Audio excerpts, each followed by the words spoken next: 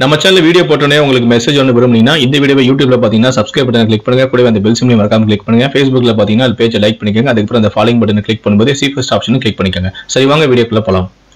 நெல்லை மாவட்டம் பாப்பாக்குடி அருகே உள்ள நத்தந்தட்டை கிராமத்தை சேர்ந்தவர்தான் புலவேந்திரன். கூலி தொழிலாளர் இவருக்கு மஞ்சுளா என்ற மகளும் உண்டு.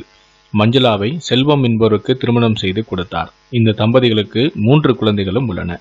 செல்வம் சரியாக வேலைக்கும் செல்லவில்லை. இதனால் மகளான மஞ்சுளா குடும்பத்தை நடத்த முடியாமல் சிரமப்பட்டும் வந்துள்ளார். இதனால் மாமனாரான புலவேந்திரன் தன் வீட்டிற்கு மகன் குடும் மகள் குடும்பத்தை அழைத்து வந்து தங்க வைத்துள்ளார். இந்நிலையில்தான் செல்வத்தின் குழந்தை சாலையில் விளையாடி கொண்டிருந்துள்ளது. அப்போது செல்வம் தன் மாமனாரிடத்தில் குழந்தையை ரோட்டில் ஏன் விளையாட வைத்தீர்கள்? என்று கேட்டு சத்தம் போட்டுள்ளார். இதனால் அவர்களுக்கிடையே வாக்குவாதமும் ஏற்பட்டுள்ளது. என்னுடைய சாப்பாட்டில் சாப்பிட்டுவிட்டு என்னையே நீ எதிர்த்து பேசுகிறாய் என மாமனார் மற்றும் மருமகனுக்குள் வாக்குவாதம் ஏற்பட்டுள்ளது. அப்போது கடும் கோபமடைந்த புலவேந்திரன் அறிவாளை கொண்டு செல்வத்தை வெட்டியுள்ளார். இதை பார்த்த மஞ்சுளா கணவரை தந்தை வெட்டுவதை தடுக்கவும் முயன்றுள்ளார்.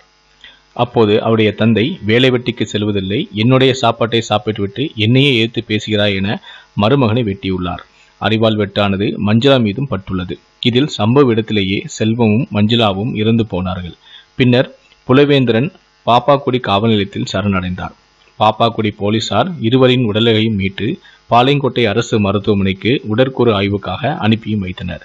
செல்வத்துக்கும் மஞ்சுளாவுக்கும் திருமணம் நடந்து ஒன்பது வருடங்கள் ஆகிறது. புலவேந்திரன் பேர குழந்தைகள் மீது அதிக அளவு பாசம் கொண்டவர் என்றும் சொல்லப்படுகிறது. ஆனால் மருமகன் புதாரித்தனமாக சுற்றி வந்த ஆத்திரத்தில்தான் கொலை செய்துள்ளதாகவும் சொல்லப்படுகிறது.